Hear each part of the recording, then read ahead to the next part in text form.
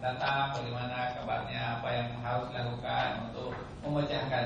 Memberi perhatian saja bagi masyarakat kecil itu sudah luar biasa bagi mereka. Nah kadang-kadang ini yang seharusnya dia melakukan ini kan para uh, politisi kita anggota DPRD kemudian para pejabat dan sebagainya.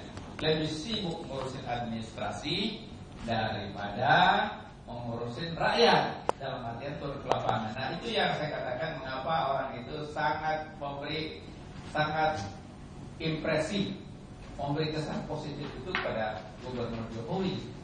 Pertama beliau itu sudah terbentuk di dalam apa pikiran perasaan masyarakat ini pro rakyat dengan turun di lapangan.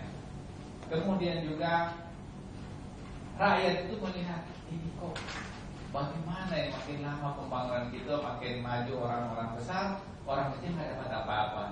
Nah, Jokowi itu sudah dikesankan oleh masyarakat dia adalah nasionalisme tinggi. Nah, jadi pro rakyat, pro kecil, cili, kemudian uh, selain itu juga beliau yang sendiri ada kesederhanaan ya ada nilai-nilai kejujuran yang ditanamkan situ, ada transparansi. Itu kan itulah nilai-nilai sederhana yang di, diinginkan masyarakat. Dan Jokowi itu bisa mewujudkan itu dalam walaupun sebenarnya dalam pembangunan DKI belum belum belum uh, ada yang nyata yang dilakukan. Tapi misalnya MRT dia udah resmikan harus jalan, monorail harus jalan lagi dan itu simbol-simbol untuk Jakarta Baru. Jadi kalau orang yang tidak memahami perasaan orang kecil, dia bilang udah gila ini masyarakat kita. Ya, kenapa belum apa-apa sudah memberi dukungan yang luar biasa. Itulah masyarakat kita sekarang yang tengah kehilangan uh, kepercayaan pada para, para pemimpinnya. Jadi kembali yang disampaikan tadi, sebenarnya untuk mengatasi konflik ini sederhana sekali. Mesti kita tanamkan trust itu kepercayaan pada rakyat jelata bahwa pemimpin itu memihak pada mereka membela pada mereka dan keputusan yang diambil itu bukan menyesalkan rakyat tetapi untuk bela. Sudah, itu mau diatur. Kita datang aja. Uh, selesai semua ya. Jadi itu yang ingin saya sampaikan. Yang kedua, misalnya kaitannya dengan ma uh, mahasiswa itu sendiri.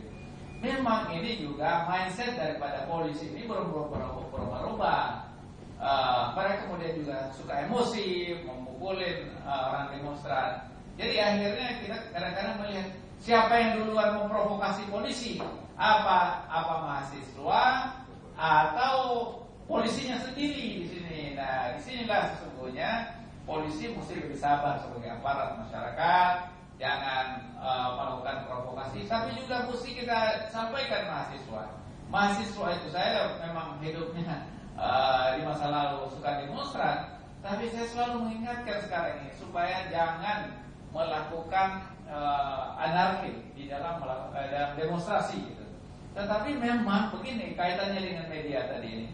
Media tidak akan memberitakan kalau tidak sifatnya dorong-dorongan, anarki dan lain sebagainya. Jadi akhirnya media itu ikut memprovokasi mahasiswa untuk berbuat brutal itu. Nah, jadi media kemudian diberitakan uh, uh, banyak yang menontonnya, kemudian akhirnya sudah rusak perusahaan ada yang ada yang sampai terbunuh dan sebagainya dan memang yang merugikan semuanya kita dan itu dalam rangka pembangunan demokrasi tidak baik gitu.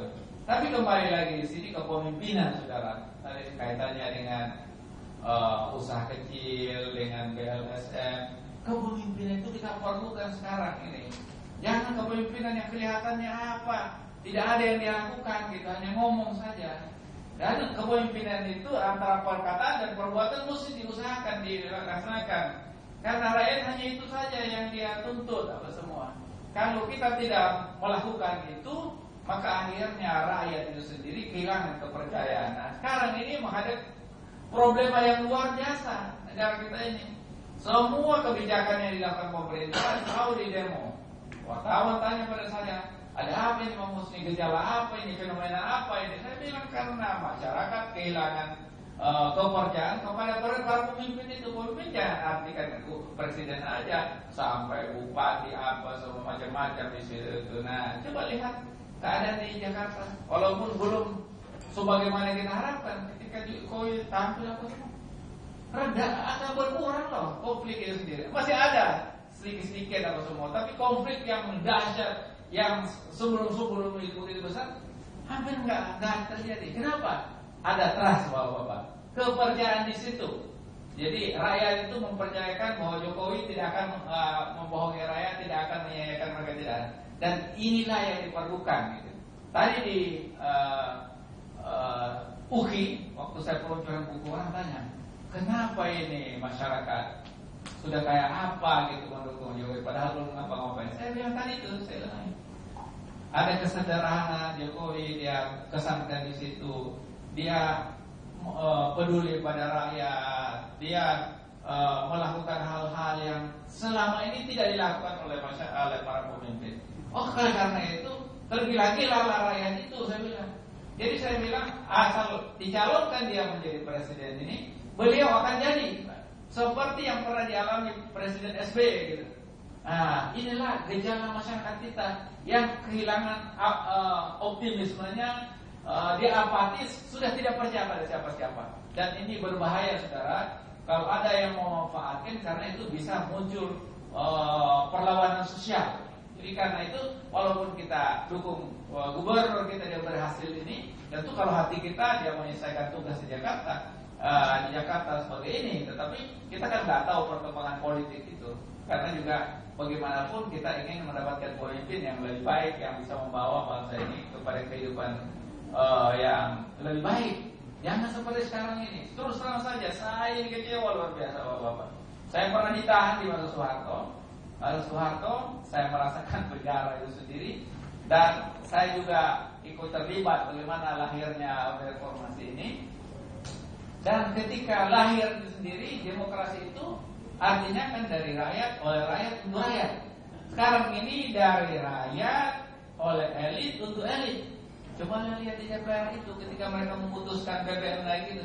Itu kan hasil survei mayoritas rakyat itu menolak naiknya BBM. Tapi itu partai-partai yang berkoalisi itu sendiri, apalagi Golkar yang mengatakan Gol, suara Golkar adalah suara rakyat katanya. Apa yang kita saksikan sendiri?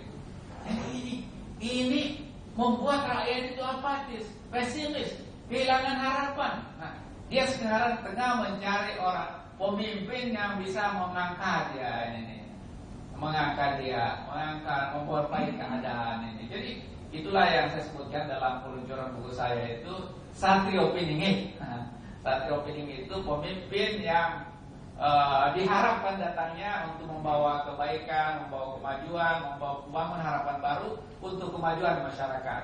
Nah, jadi itu bapak-bapak yang uh, sekali lagi yang saya sampaikan tadi ini